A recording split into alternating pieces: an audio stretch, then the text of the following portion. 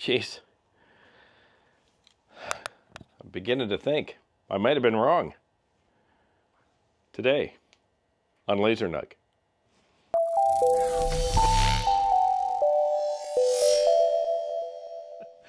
Welcome back to the channel. I was wrong. I'll admit it.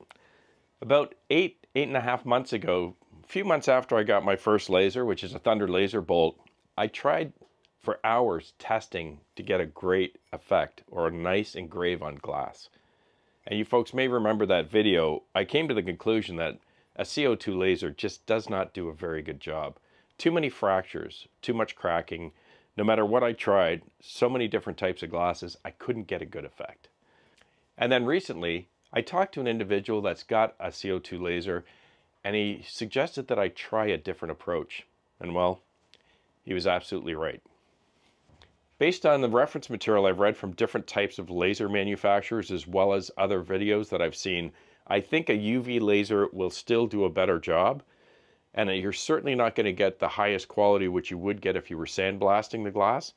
But I have to admit, this engrave is probably two to 300% better than what I was ever able to achieve before.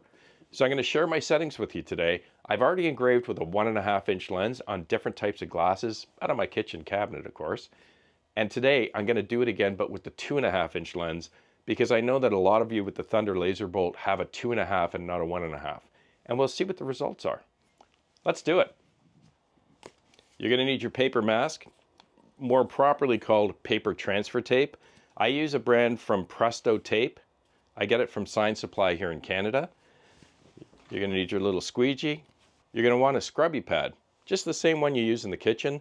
Not too abrasive, but it's got a little bit of a rough texture to it. You're going to need that afterwards. And I'm going to use the same type of glass mug that I used with the one and a half so we can compare afterwards. So although you may remember from that earlier video, I spent hours, as I often do, trying to get settings for a specific material, in this case glass. And if you recall from that video, I had mentioned to you that early on I actually cracked one of the glasses while I was trying to engrave it. And I think where I went wrong is I assumed that meant that my power was way too high. It actually wasn't my power that was the problem, it turns out. It was my speed was too low. And you'll see here with these new settings that we're using a very high speed and a much higher power setting than I was using before. The two and a half inch lens is in.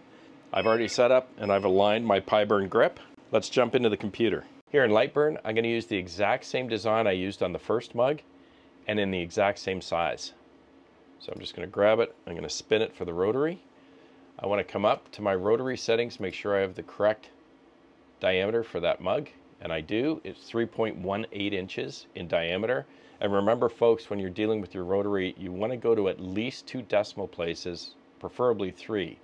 It's Chuck, I'm enabled, it's on the A axis. It's telling me it's reading it successfully. And I have 30,000 steps per rotation, which is correct for the PiBurn Grip 2 on this Thunderbolt. We're good here. Let me share my settings with you. We're going to be using 1,000 millimeters per second, 60% max and min power, high air. You need your air on. It's in fill mode, and we want 1,016 lines per inch, one pass. This is, I believe, where I went wrong about eight months ago. I was doing my testing around 500 millimeters per second, and that's when I cracked one of the glasses, if you recall. And then I assumed I needed to start dropping my power settings. And in fact, what I should have done is increased my speed and then started to play with my power, which is what we've done here. We're going to click OK. I'm looking good. I'm just going to take a check. Yep, looks all well. And I'm going to make sure that my user origin is here, which is where I like it when I'm engraving on a rotary. And we're going to send that to the bolt. And this is what I've learned makes a big difference for your engrave. Your paper mask. I'm just going to grab a piece. We're going to wrap our glass.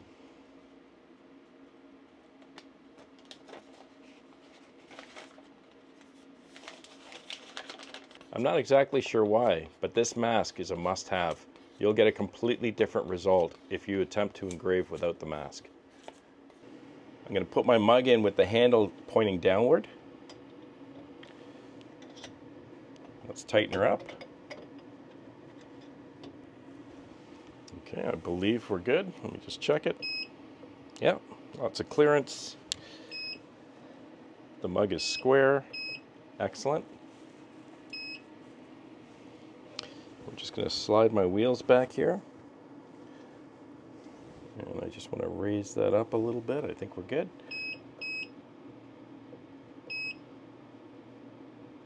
Yep. We're just going to check our alignment. Now that we're aligned, we're going to autofocus.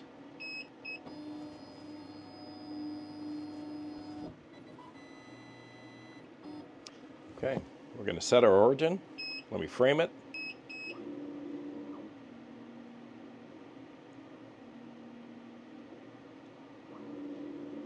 Okay, we're good to go.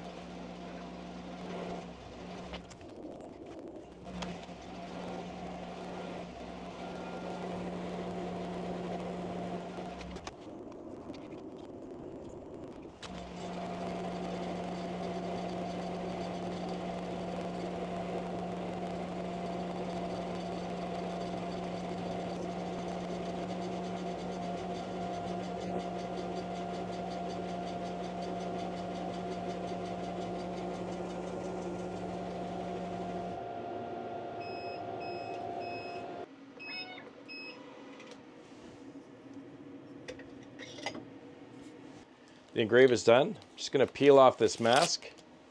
I'm gonna grab my scrubby pad. I'm gonna head into the kitchen with some dish soap. I'm gonna wash up this cup and then we'll take a look at the results.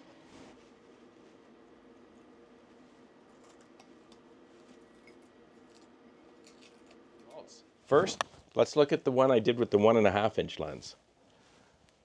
That's this guy. Hopefully you guys can see that all right.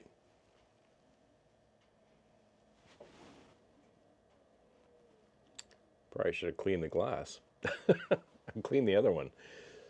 This one's a little bit hazy, but that's your engraved with the one and a half. And this one was the one we did today with the two and a half. They're very close. I'm thinking the one and a half is better with those settings. But let's take a look under the magnifying glass. Here's the one and a half.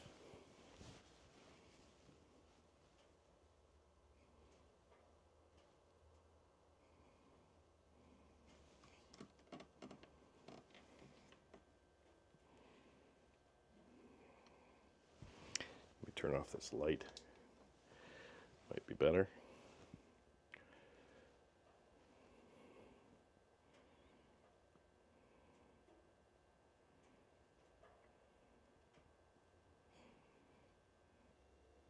Okay, let's take a look at the two and a half.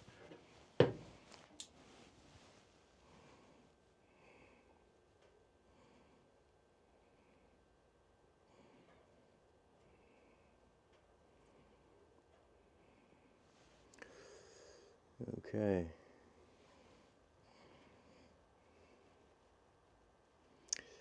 Well, at least from what I'm able to see, just turn off the light.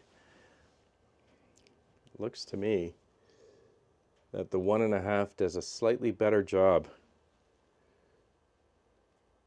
Yeah, for sure. Let me just look one more time.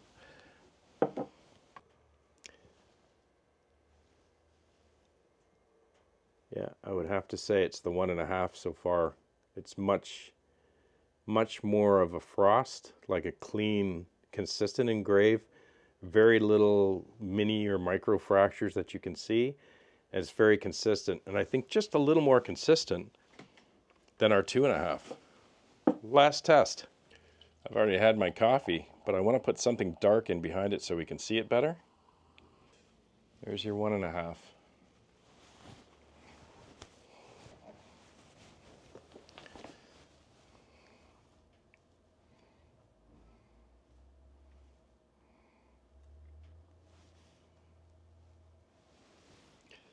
Yeah, that looks much, much better than the two and a half.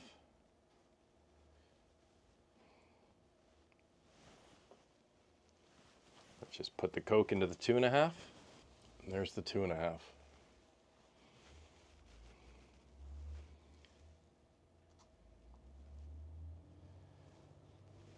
Yeah, I would have to say the two and a half leaves more little micro fractures or cracks so to speak, than the one and a half. The one and a half is a much cleaner engrave, for sure.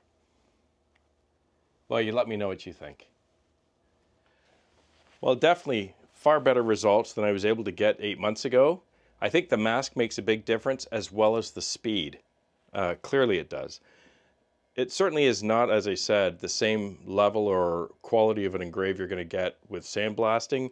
And from what I can see, a UV will still apparently produce a much better result. But this is definitely, with the one and a half inch lens, I would sell that engrave. That's a pretty nice engrave.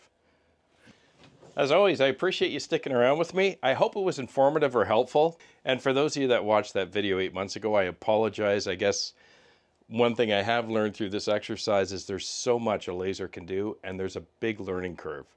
And just when you start to think you're getting the hang of it, you get that curveball and you realize that there's so much more to consider. If you've got a few spare glasses in the cupboard in the kitchen, give it a shot. Make sure you throw some paper mask on there. If you don't have it, uh, if you've got regular masking tape, give that a shot. And by all means, please let me know in the comments how your test results turned out. If you've got a bolt, try that one and a half inch lens. And if you don't, perhaps the two and a half can do better with adjustments to those settings. Have a great week. Please be kind to each other, and I'll see you again right here. I'm Gord Potter, and you've been watching LaserNug. Cheers.